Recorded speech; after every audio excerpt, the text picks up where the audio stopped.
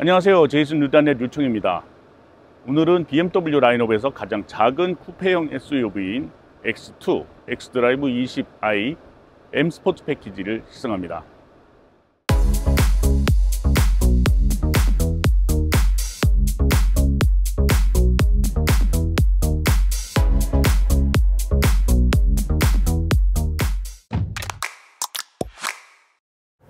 실내 공간은 소형 SUV 치고는 비교적 여유가 있는 편입니다. 대시보드 레이아웃 같은 경우에는 음, 유리창은 약간 높이 있지만은 전반적으로 대시보드가 운전자 쪽을 향해서 약간 내려오는 듯한 그런 배치를 하고 있고요. 그래서 계기판이라든가 인포테인먼트 스크린도 약간 낮게 설치가 되어 있습니다. 그래서 전방 시야는 좋은 편이고요. 그리고 계기판과 인포테인먼트 스크린이 약간 운전자 쪽을 향해서 틀어져 있는 그런 스타일로 되어 있고요. 디스플레이 자체는 좌우가 분리되어 있지만은 하나의 틀 안에 집어넣어서 이어진 듯한 그런 분위기를 내고 있습니다. 모서리 부분을 약간 각을 주어놨기 때문에 조금 스포티한 느낌을 더 강조를 하고 있고요. 계기판 디스플레이는 12.3인치지만은 인포테인먼트 스크린은 조금 더 사이즈가 작은 10.7인치 사이즈여서 그 끝에 있는 부분까지 운전자가 쉽게 손을 뻗어서 조작을 할 수 있는 그런 정도의 사이즈를 갖추고 있습니다. 그리고 주로 쓰는 기능들, 미디어라든지 전화, 내비게이션 이런 부분들은 별도의 터치 인터페이스로 어, 접근을 할 수 있도록 만들어 놨기 때문에 어, 조작하는 데에 조금 더 편리하게 구성을 해 놨고요. 센터 콘솔은 대시보드와 분리되어 있는 스타일입니다. 아래쪽을 띄워놔서 약간 floating 스타일의 그런 구성을 하고 있는데요. 아래쪽에 있는 수납 공간 상당히 넓은 편입니다. 물론 폭은 그렇게 넓지가 않은 편인데요. 뭐 이 정도 차급의 차에서는 충분히 이해할 수 있는 부분입니다. center console 위에 운전자가 쉽게 손을 움직일 수 있는 그런 범위 안에 토글식으로 되어 있는 이 기어 selector가 있고요. 그래서 기본적인 주행 관련된 기능들을 한 줄로 배치를 해놓고 기타 기능들을 옆에 있는 어, push 기능이 더해진 패널로 만들어 놓았기 때문에 조작하는 데 있어서는 상당히 편리한 편입니다. 그리고 오디오를 조작하는 데 필요한 볼륨, mute 기능도 포함되어 있는 다이얼도 조작감 상당히 좋은 편이고요. 반면에 대시보드 쪽은 상당히 간결합니다. 특별하게 물리 버튼으로 되어 있는 부분들은 송풍, 앞일 쪽으로 송풍하는 기능을 최대로 작동할 수 있는 기능과 뒷유리 열선 기능 이단두 가지밖에 없습니다. 물론 운전석 왼쪽에는 조명, 외부 헤드라이트라든가 안개 등 이런 부분들을 조절할 수 있는 버튼들이 따로 마련이 되어 있고요. 그래서 대시보드 상에 버튼을 상당히 많이 줄여놨다는 점에서 대시보드 디자인을 깔끔하게 만드는 그런 측면이 있습니다. 그리고 시선이 쉽게 닿을 수 있는 부분들의 맨 플라스틱이 그대로 드러나 있는 부분을 최소화했다라는 점도 눈길을 끕니다. A필러 같은 경우에는 천장 마감재와 같은 소재로 마감을 해놨고요. 대시보드 같은 경우에도 인조가죽 소재를 위아래로 다른 음, 패턴으로 만들어서 조금 더 세련된 느낌을 주도록 이렇게 만들어 놨습니다. 특히 아래쪽에 있는 부분들은 이 삼각형이 반복되는 이런 패턴을 넣어놔서 조금 더 스포티한 감각을 더해주고요. 그리고 대시보드 가운데 부분을 가로지는 부분은 약간 알루미늄 느낌을 주는 도장을 해놔서 어, 스포티한 감각을 더합니다. 시각적으로 이 실내를 위쪽과 아래쪽을 뚜렷하게 구분해 줄 수 있는 그런 역할을 하기도 하고요. 물론 이 알루미늄 패턴의 어, 내장재 아래쪽에는 검은색 플라스틱으로 처리가 되어 있는데 깊이 이렇게 비스듬하게 안쪽으로 파고 들어가며 내려가기 때문에 운전자 시선에는 그렇게 많이 눈에 들어오진 않습니다. 그래서 전반적으로 실내의 고급감을 많이 높여주는 그런 식으로 배치를 해놨고요. 특히 눈길을 끄는 부분은 이 도 트림에 있는 이 손잡이입니다. 이 안쪽으로 돌출되어 있으면서 약간 각을 줘서 손으로 잡기 좋은 이런 그립을 만들어 놨기 때문에 이런 부분도 스포티한 분위기를 만드는데 좀 더 도움을 주고 있습니다. 일반적인 차에서 center fascia라고 할 수 있는 부분의 아래쪽에는 cup holder가 가운데 있고 그 너머로 스마트폰 무선 충전 장치가 마련되어 있습니다. 일반적으로는 이렇게 전화기를 내려놓는 그런 선반식으로 되어 있는 차들이 많은데 차에서는 이렇게 세워놓는 식으로 되어 있고요. 이 주행 중에 이 전원이 흔들리지 않도록 걸림대를 만들어 놓은 이런 부분들은 약간 좀 센스 있게 느껴집니다. 전체적인 실내 디자인과 함께 차의 스포티한 분위기를 조금 더 높여주는 부분이 시트입니다. 시트 높이는 일반적인 SUV 스타일의 차들과 비교했을 때에는 약간 낮은 편이고 일반적인 세단이나 해치백 같은 승용차들에 비하면 조금 높은 편입니다. 어, 운전석에 앉았을 때에는 조금 더 낮은 위치에 앉아서 좀 안정감 있게 운전할 수 있는 그런 특성이 있습니다. 1열 좌석 시트 같은 경우에는 약간 bucket seat 타입으로 이 가장자리 부분이 돌출되어 있는 그런 식으로 디자인이 되어 있습니다. headrest는 분리가 되어 있어서 위아래로 높이를 조절할 수 있는 기능도 있습니다. 사이즈 자체는 뭐 이 정도 크기 차에서 적당한 수준이고 앉는 부분 그리고 등받이가 약간 좀 평평하고 쿠션이 탄탄한 느낌이 어, 들게 만들어 놨지만은 앉는 자세에 있어서는 크게 불편하지는 않습니다. 다만 앞좌석은 좌우 모두 전동 조절 기능, 높낮이 기능까지 다 갖춰져 있지만은 허리 받침을 조절할 수 있는 기능이 없다는 점이 조금 아쉽고요. 뒷좌석은 앞좌석과 비교를 하면 앉는 부분의 높이가 좀 더 높습니다. 그리고 시트 굴곡이 거의 없는 편이고요. 두 명이 앉기에는 괜찮지만 어, 세 명이 앉기에는 좀 부족한 그런 정도의 너비를 갖추고 있습니다. 등받이는 각도를 조절을 할 수는 있는데요. 편안한 각도로 조절을 하기는 조금 어렵습니다. 약간 세워진 상태로 고정을 하거나 조금 누운 상태로 2단계로만 조절을 할 수 있는 구성을 갖추고 있습니다. 등받이에는 접이식 팔걸이가 마련이 되어 있고 컵홀더는 팔걸이 안에 마련이 되어 있습니다. 가운데에 있는 접이식 팔걸이의 높이는 도 트림의 팔걸이보다는 약간 낮은 편입니다. 그래서 두 팔을 모두 올려놨을 때에는 약간 안쪽으로 몸이 기울게 되는 걸 느낄 수가 있습니다. 어차피 이런 성격의 차에서는 뒷좌석보다는 앞좌석 탑승자를 더 많이 고려를 하기 때문에 뒷좌석의 거주성이 좀 떨어지는 것은 사실이고요. 지붕선이 뒤로 갈수록 좀 내려가는 그런 형태로 돼 있고 앞좌석보다 앉는 부분의 높이가 더 높기 때문에 머리 위에 여유 공간은 그렇게 넉넉하지는 않습니다. 그나마 머리가 들어가는 부분을 약간 좀 파놓았기 때문에 아주 답답하지 않은 정도의 공간을 갖추고 있습니다만은 아주 편안한 공간이라고 얘기하기는 어렵고요. 그리고 앞좌석을 이렇게 많이 뒤로 밀지 않았는데도 앞좌석과 무릎 사이의 여유 공간은 주먹 하나 들어갈 정도의 여유 공간만 만들어집니다. 차체의 휠 베이스가 약간 좀 여유가 있는 편인데도 이런 정도의 실내 공간이 나오는 것은 조금 아쉬운 부분이고 뒷좌석의 편의 기능은 특별한 것은 없고요. 뒷좌석을 위한 공기 배출구가 앞좌석 사이 center console 뒤에 마련이 되어 있고 USB 충전 포트, type C 포트 두 개가 마련이 되어 있습니다. 간단한 수납 공간이 door trim과 center console 아래쪽에 마련이 되어 있고요.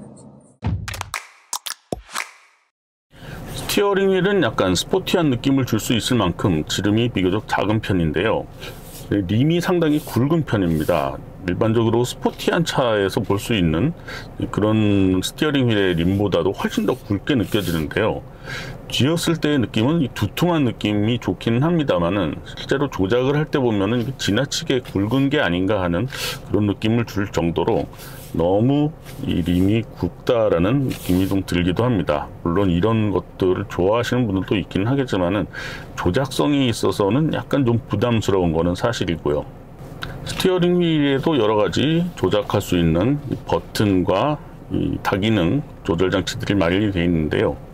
여러 가지 기능을 몇개 되지 않는 버튼들로 조작을 할 수 있도록 만들어 놨기 때문에 어, 필요한 기능을 찾기 위해서는 뭐 여러 번 누르거나 조작을 해야 되는 좀 그런 번거로움이 있습니다.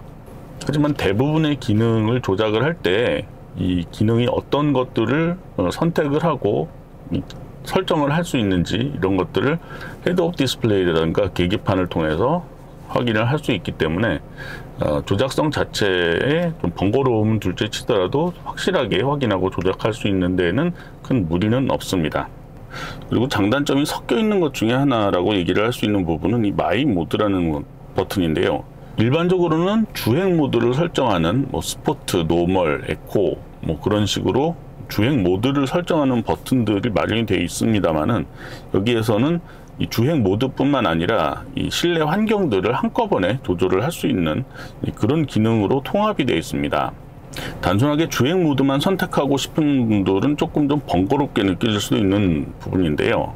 물론 그런 부분들은 개별 설정을 운전자가 다 지정을 해서 미리 저장을 해 놓을 수 있기 때문에 어, 그렇게 활용을 하는 것이 일반적인 오너분들이 활용하실 때는 적절한 방법입니다.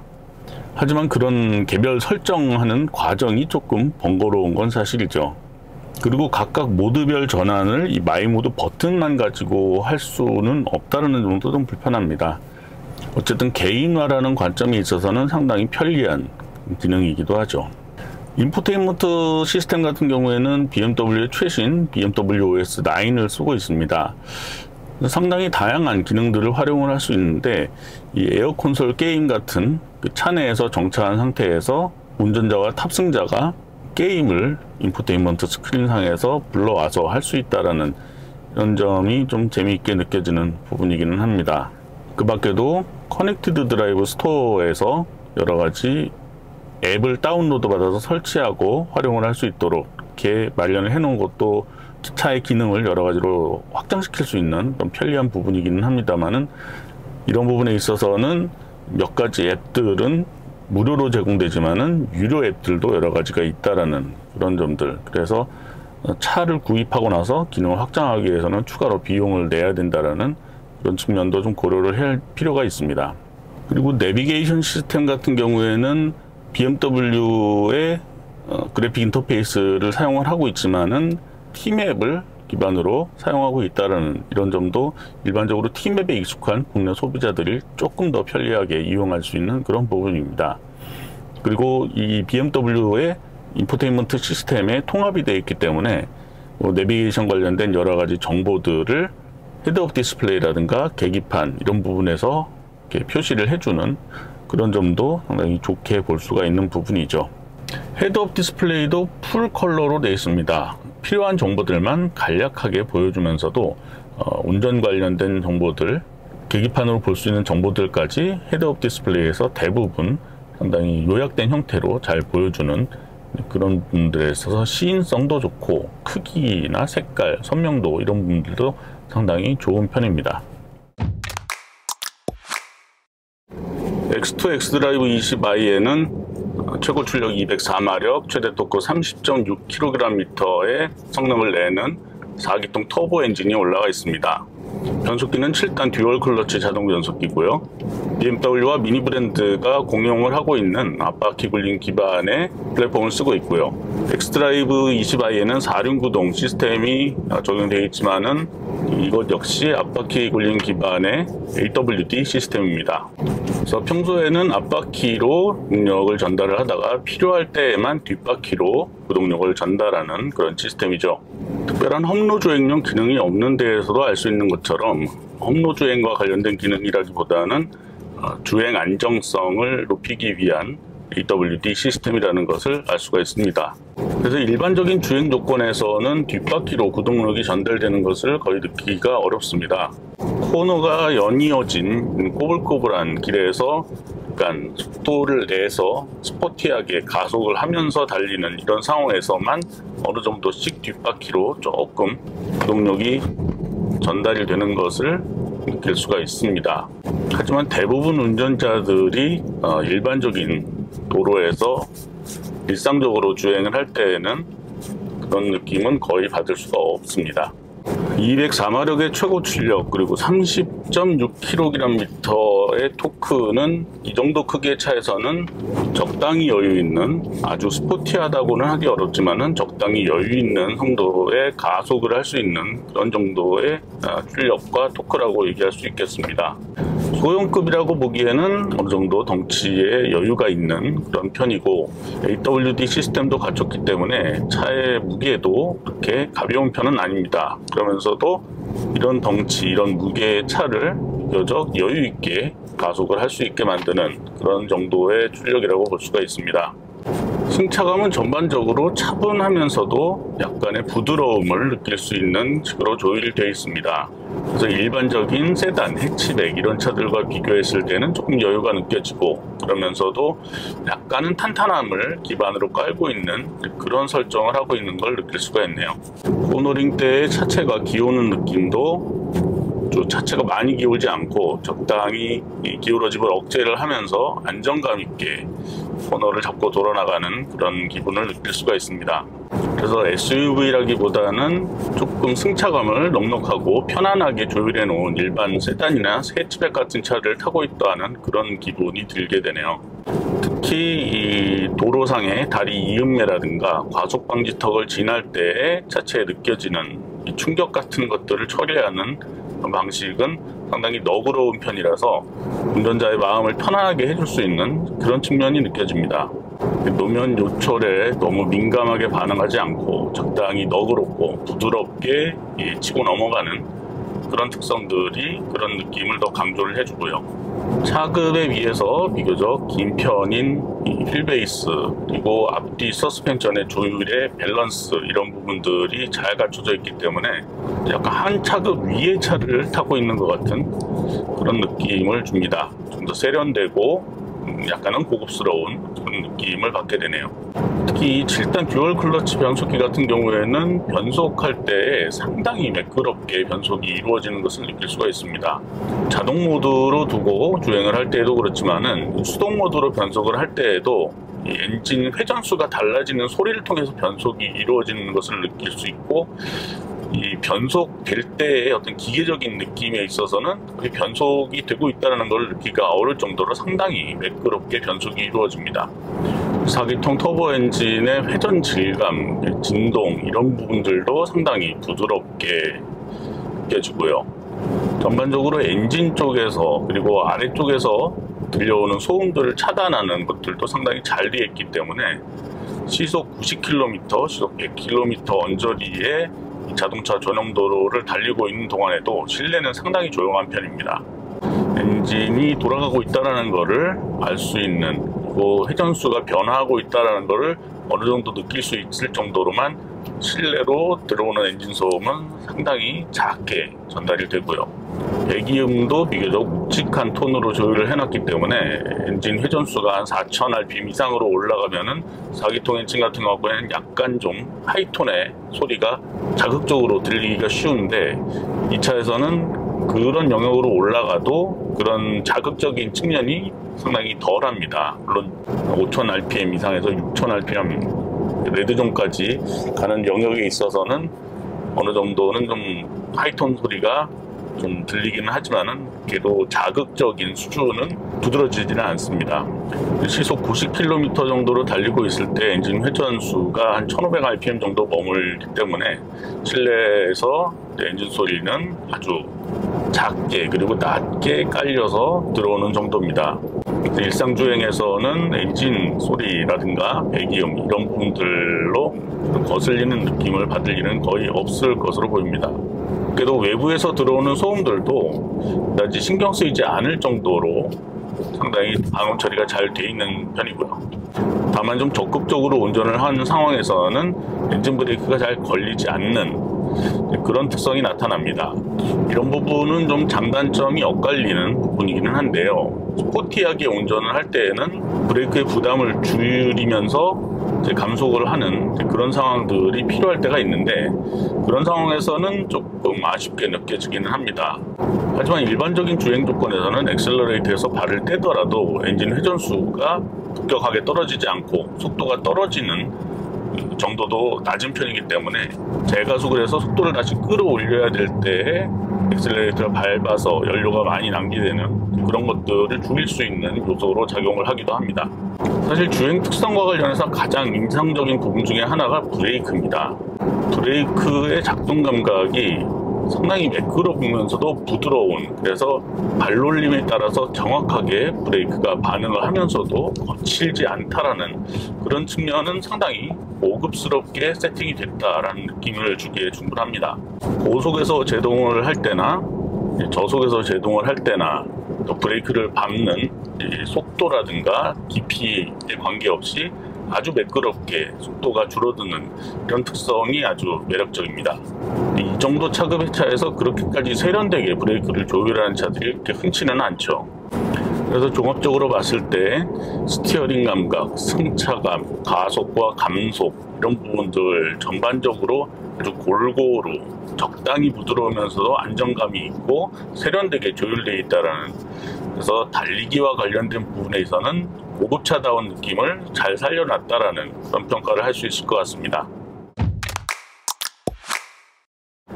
ADAS 기능도 비교적 잘 갖춰놓고 있습니다. 정차 후 재출발 기능을 지원하는 adaptive cruise control 갖춰져 있고요. 차로 중앙 유지 보조 기능, 차로 이탈 방지 보조 기능. 프리미엄 브랜드가 아닌 일반 브랜드 차들에서는 이 정도 차급에서 좀처럼 보기 어려운 차로 변경 보조 기능도 마련되어 있습니다.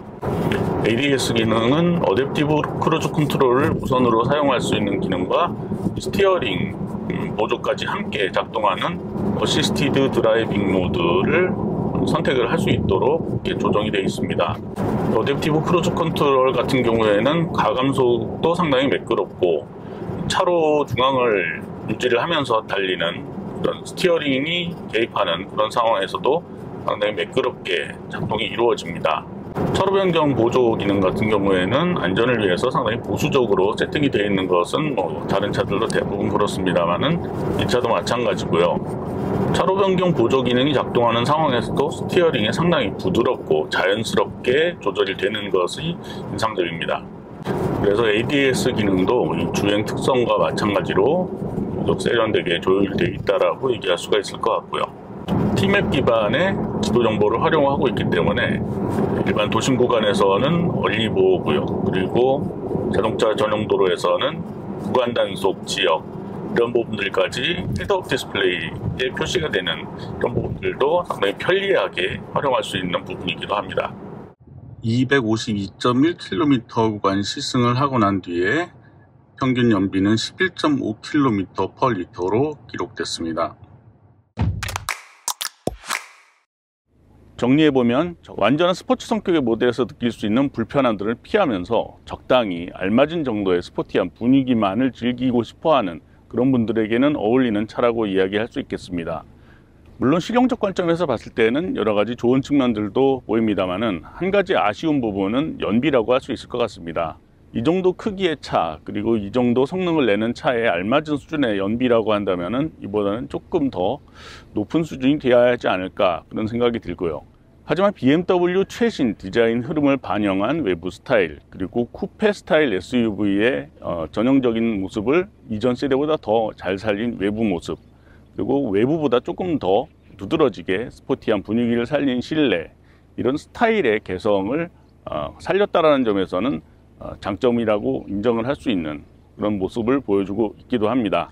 과거에는 잘 달리는 차 그리고 운전자가 차를 모는 느낌을 아주 즐겁게 만들어주는 그런 성격의 차들을 만들어 오기로 유명했던 BMW 차에서 가장 두드러지는 부분이 스타일의 개성이라는 점이 좀 아이러니긴 합니다. 하지만은 그런 측면이 두드러지기는 해도 여전히 기본적인 주행 특성에서의 어, 기본기들을 잘 갖춰놓고 좀 더 주행의 질감을 수준을 높여놓은 그런 식으로 차를 만들어 놨다는 점에서는 여전히 BMW의 장기는 살아있다고 볼 수가 있겠습니다. 이렇게 이번 시승을 마무리하겠습니다. 지금까지 제이슨 뉴단넷 유청이었습니다. 시청해 주셔서 고맙습니다.